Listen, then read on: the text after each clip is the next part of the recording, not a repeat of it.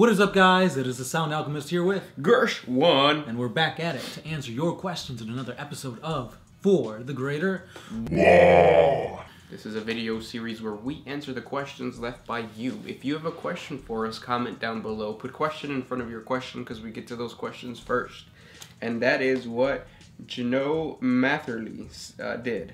He asks, I'm thinking about getting into tabletop. Where is the best place to buy models outside of the GW store? Good question, especially if you live in America, because uh, GW stores are very few and far between. Um, well, the, the farther you get from the city, because Yeah. if you if you live in a major city, you're fine. Right. Um, so the best way, the uh, best outlet is eBay. Right. eBay has tons of stuff. They've got uh, like if you they, you can look at anything, whether it's out of production models, built painted armies, bits, anything like that. eBay's got it. Um, you might have to search for a little while. you might have to win some bids, but it's there. Yeah, the the tips that I would recommend when shopping on eBay is uh, number one, if you, if you want a new model, go for um, or buy your stuff in bulk so that the shipping could all be uh, one cost. Right. And what ends up happening is that like the eighty-five dollar um, starter set you can get on eBay right now for like sixty-nine dollars, and that's if you just want to buy it now with like maybe a five dollar uh, shipping charge. So you're still getting it like at seventy something uh, dollars, seventy-four dollars, uh, whereas you were getting it at eighty-five at a GW store plus tax. Um, so it even comes out to like almost a hundred dollars. Buying new things on eBay at first might be a little like sketchy, but once you actually start, um, you know, getting into it, you realize it's not bad at all. Some of them don't come with the boxes, but who cares? Like you don't really need the boxes. Right. As long as it's on the sprue, as long as everything's there, that's all that matters. Yeah, and the reason that those companies are selling those things is because I think uh, they're kind of like the the hobby sh- stores where like Warhammer is not as popular, so now they have all this backstock and they try to discount it, but still nobody buys it, so they sell it um, on eBay. So I would recommend buying even new things on, on eBay. Um, and then also filtering right away, go into ending soonest. That way you could see the ones that have, you could see the models that have um, usually the lowest bids because whenever people bid they usually bid all crazy and then right before um, it's to go out um, the the bidding stops for a little bit and that, that's when you could bid Right. Don't just keep on bidding back and forth when you've got like four days left, because you're, you're gonna screw yourself over. Watch the item, keep your eye on it, and once there's like two minutes left, then that's when you gotta hop on and get your uh, fingers ready. yeah yeah um, wait to the last what two seconds yeah, because a lot of times it's like somebody bid, oh they outbid you, oh, and then by the time you're typing it out, yeah, it's it's too late. Yeah It's happened to me countless times. but yeah, um, like like you were talking about earlier, hobby shops. Um, if you want to go to a brick and mortar store, some most hobby shops, at least that I know of, that I've been to, they carry uh, fantasy stuff, Age of Sigmar, Warhammer 40k stuff, and it's not always the newest, but oftentimes they've got you know some random stuff you won't even think about. and they have them for sale which is insane for uh, gw stuff because gw stuff is like apple stuff it never goes on sale uh, but if you go to like a game store um, we have those here in, in our area uh, they have buy two get one 50% off so you, buy some two big or three big items like you're saving yourself a lot of money Yep. Also, uh, what was it you said? There's some bookstores that sell used books. You found some Oh yes, yeah, yeah. So like, there's a store here, a secondhand store called Second and Charles, uh, and Codex is from before there, and you could even sometimes you can get lucky and get like most recent codexes. Mhm. Actually, I'm gonna hit that place up today if I have the chance because I bet you a bunch of seventh edition uh, Yeah. codexes are gonna be out. Yep. And Yeah. also check uh, garage sales. Um, when I was younger, this this sucks, but I went to a garage sale and they had an awesome uh, Warhammer Fantasy stuff. I want to say it was like dwarves or something like that. And I didn't know what it was at the time. I thought it was cool, but I never bought it. I'm like, oh, these are just overpriced toys. Yeah, But looking at it now, I'm like, oh, damn. should have got it. But yeah. Good question. Next one. I have one. Whoop. I got one right here. Yep. Since they've been reading books, or since I've been reading books on Genestealer cults, I've always had this question. Can a genestealer cult rebel against their mother, Hive Fleet? No.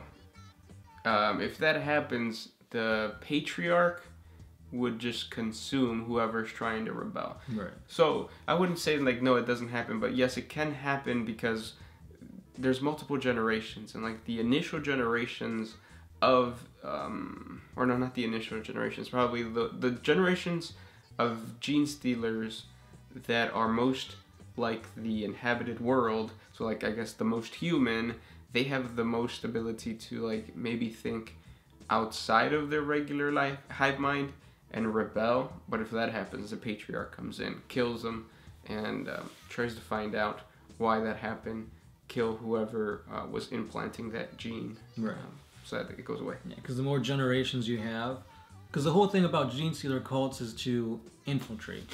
Obviously, when you first get a genestealer infiltration, they look like Tyranids.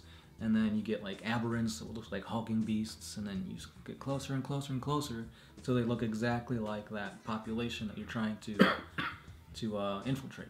Yeah. So maybe Gersh is a genestealer right now. Maybe. we would never know. until the patriarch comes and cuts off my head because I'm rebelling. Next question comes from Caboose N- NZ69. Would the Graze Ein, the big dark suit that's bigger than the rest, from episode 24 and 25 of Gundam Iron Blooded Orphan Season 1, be the closest version of an Imperial dreadnought in the Gundam lore, to the way the pilot is connected to the suit by direct neural link. Never seen Gundam. Yeah. Well, I've seen Gundam, but I haven't seen that specific one. Um, but if there is a neural link from the pilot to its suit, that is kind of what a dreadnought is. But a dreadnought, it's like you're legit.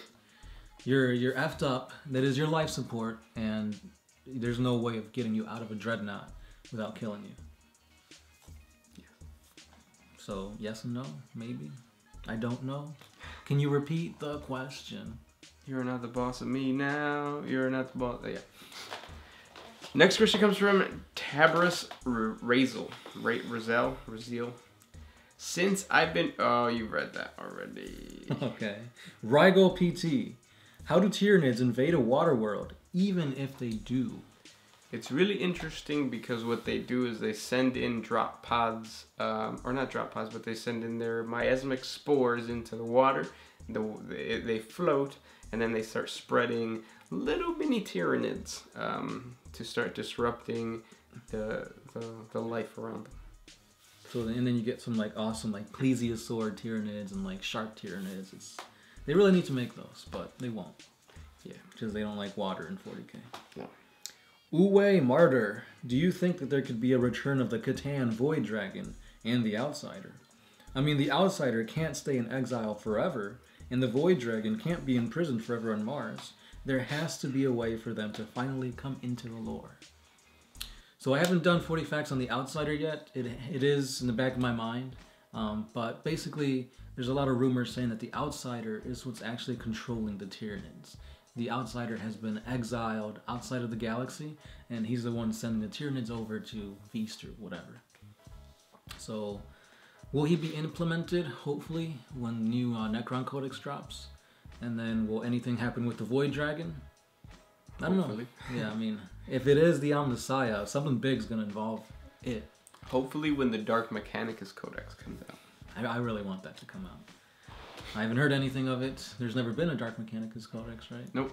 Uh, Forge World has one, right? Mm, not that I think. I don't think so. Oh, okay. Uh, I think they have like the Traitor Mechanicum, but I don't know if that's the dark. Well, I don't know. Next question comes from Vidmonster. In relation to the 30 foot, the uh, 30 foot long place firmly between Rogal Dorn's buttocks, what kind of wood is it? So apparently, uh, Rogaldorn has a stick up his butt that's 30 feet long, and it is balsa wood. Oh, it's a nice type of wood. Wolfie of Honor. Why is this show called For the Greater WAAAGH? Are you heretics? Some kind of orc human hybrids trying to spread virtual spores through the internet? Kinda. Yeah, I mean, in a way, you're kind of right. Um, it's not orc human, it's uh, orc Tau. Yep. So Tau is my main army, even though I haven't played it in 8th edition yet. For the greater. good, and then WAAAGH, for orcs. because I played orc all my life. Well, that's not true, but yeah. Next question comes from Haram Bo H.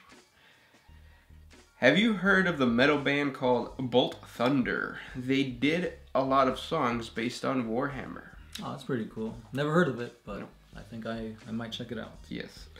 Michael Howell.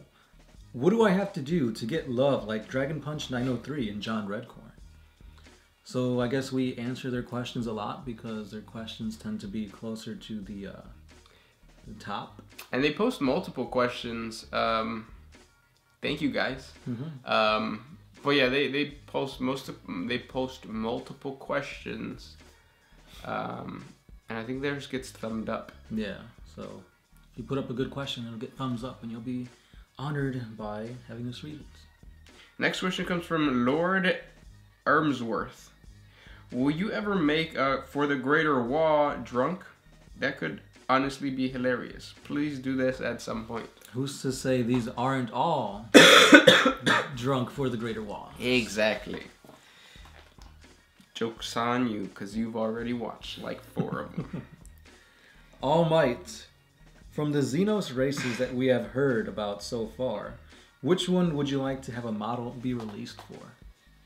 Out of what? The Xenos races that we've seen. Oh, So I'm assuming ones that don't already have a model. squats. Squats considered Xenos or are they abhumans? They're abhumans, but that's considered Xenos. Like Xenos is just alien. Yeah. Um, so it's out of the Imperium, and yes, they are out of the Imperium. Uh, so squats. I would say the Tarellian dog warriors from the Tau. So they're a race of like dog humanoids that the Tau have incorporated into their empire, kind of like the Vespids. Um, there, there's little snippets of it in the lore. I think there's like one or two images out there from like That are really good. Yeah, really good, but they're like really old. I think it was from like Xenology was what the book was called, but yeah. And There's even some models. I'm thinking of the models in terms of the image, but there's an because I've always seen them, and I'm like, oh, that's just like some goofy looking uh, Tau guy. But no, it's like a, a dog looking Tau guy. It's pretty cool. That would be cool. Do they bark? Is their bite worse than their bark? Next question comes from Bread by Bayoto. Have you gays seen the Wolf Rain serial? Or no more toe speech? Tau speech. Wolf Ring. Wolf's Ring? Is that an anime? Because if it is, I've seen it. So it involves people that turn to wolves. yeah. Really? Okay, no, I haven't seen it. I haven't seen all of it. I it was on Toonami like years ago, and I saw a few episodes. I never knew what the plot was, but I thought it was cool because one of the voice actors was a Tai from Digimon. Digimon, Digital mm. Monsters. Digimon are the champions. Last question. You have one? I do. This one's by Bay G Main. Do you think that the Slann and or the Rack Goal will become playable races in 40k? No. Unfortunately not. The Rak'Gol are kind of stupid uh, and mysterious, and I think that's what they're going to be kept as because they're really good fluff for um, what is it, Dark Heresy? hmm Um, and then the the the old ones are just gonna like before they bring the old ones back, they're gonna touch up on all the other races, and by that point, um, ninth edition's coming out. So yeah. Yeah. Those were the questions for this for the Greater WAAAGH. If you got more questions, answer them or ask them in this one or the next one or the one following it because we will get to it eventually. with that said, guys, this was Gershwin. Sound Alchemist, signing out.